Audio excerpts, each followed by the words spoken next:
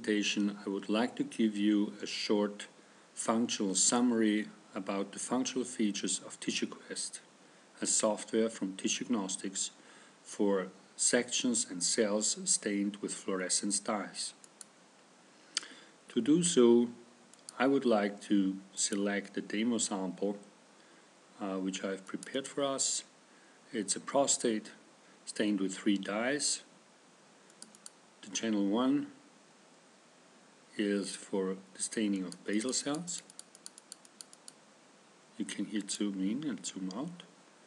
You see you can choose between the different channels. This is the secretory epithelial stain and this is the third which is the DAPI stain. Based on this DAPI we have used the mode where the cells are identified by the DAPI nuclear stain and you have to press this button and there's an automated algorithm which can be tuned in this box to automatically now recognize all nuclei. All nuclei are then shown in form of scatter plots. Let's see now to the mask. When you look here, you can see that each nucleus is now surrounded by a green line. Those nuclei which are surrounded have been detected and have become an object. If you look at this, mask, this is the mask which is, can be used to see where the software detects an object and where the intensity or size is measured based on such areas. Each object here become now an object here in these scattergrams based on the functional features. So for example, this is a big cell, so it goes up here, a very big, this is the parameter on the y-axis DNA area. Right, so these are the big cells. Small cells should be there down. As you can see here, this interactive blinking says you that this object is a small object. Each object, so let's go here to the original, is giving us a set of data which comes either with the size or some morphologic features like compactness and eccentricity, but also intensity features like the maximum, the mean, the sum of intensity. Let's go again back to the presentation as a scattergram. When we look here, now all cells are identified, uh, all nuclei are identified, and this means you have here now the summary of all nuclear data. So you can see here, these are the small cells, these are the big cells, here are the cells which have no a very weak intensity, DNA mean intensity is here, and these are the cells with a very high intensity. There is a fe feature, for example, like here, you can make a gate. You can, with the right mouse click, you say view backward data so that you can see this gate, which cells are in this gate, and they will be presented to you if you would like to have them in your dot in your analysis you can say, okay, I choose this functional feature, and I would say it's okay here, because these are really nuclei of small, smaller nuclei. Uh, but at the same time, also, the cells will be always represented here in form of a uh, discolored um, pink color within this dot plot. So you can see here, for example, how these pink cells react, for example, with the, with, uh, the marker uh, for basal cells, right? Here's DNA mean intensity versus basal cells. You see here the pink cells, and for each each such gate you can make easily by pressing here this button, making a gate, you get another color. Yeah? The end, you get not only another you get also a new data set. So if you press here and you want to make a gate, you get another data set. What is the data set? The data set shows you how many cells are in this gate. Here is the number of cells and it would give you the mean intensity based on this marker. For example, here in this case is the DNA mean intensity, which is given in the gate 6. Right? So let's go to the data. So each object is now identified based on the DAPI stain and depicted in the first scattergram based on its area and the mean intensity. In the second diagram and the uh, third diagram, we see the reactivity of DNA mean always on the x-axis and on the y-axis the basal cell marker and in this case the epithelial marker. We, when we look here to this scattergram, we see a population there down. This is a population which is cytokeratin weakly positive, and this is a population which react, seems to react much stronger with the marker.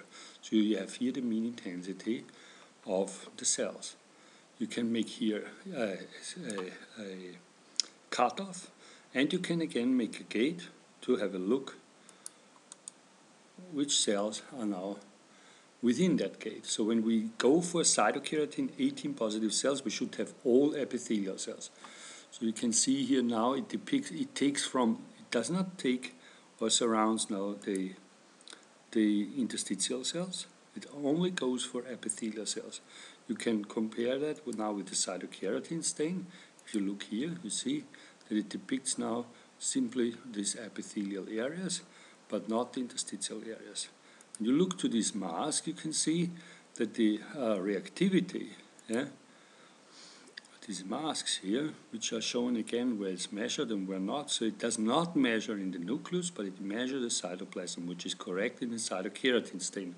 You can simply choose that from this. Uh, so, for example, you can make include nucleus, or if you check then, then you exclude nucleus. Right? And we, for example, this gives you the ability for each marker to set if it is in a ring mask or an identified cell mask.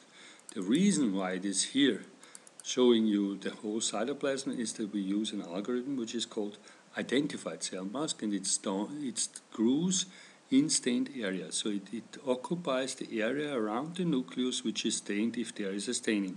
If there is no staining, it makes a thin ring and you can define how big this ring is and then it will give you the mean intensity of this so-called negative ring and will give you the mean intensity of the strongly positive area.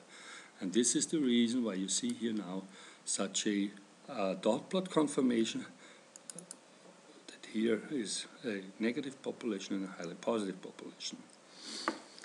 We have now a, a, a very big number of gates, which is a little bit confusing, so you can manage these gates, simply delete them, and then you again have a clean subset without interference. When you look here now, this is the double reactivity. You can see easily that there's a population and that there's a population.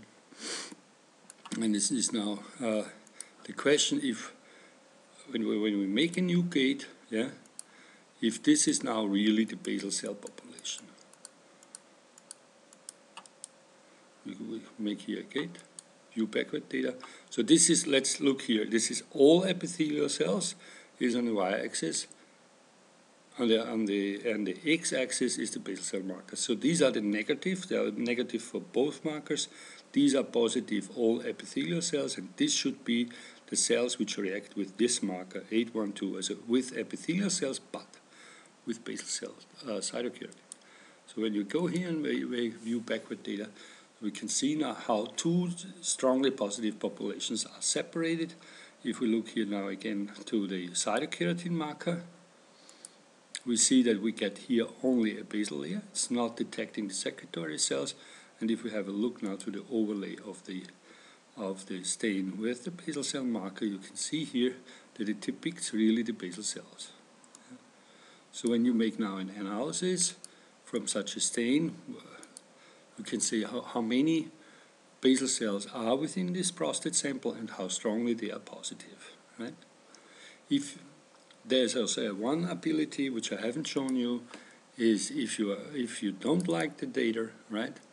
For example, here, and we we see this this sample where these two cells are uh,